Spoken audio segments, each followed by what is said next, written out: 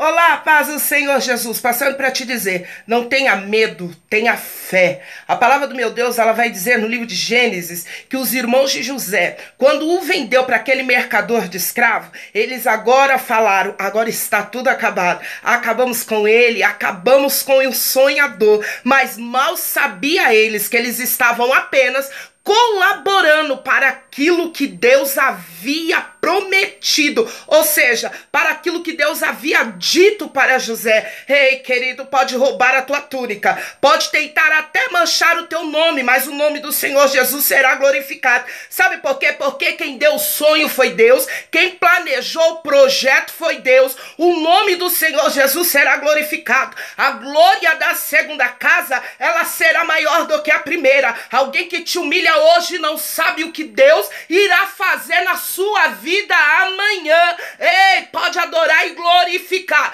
porque aqueles que se levantam estão apenas colaborando para a grande obra, a grande vitória que Deus irá te entregar.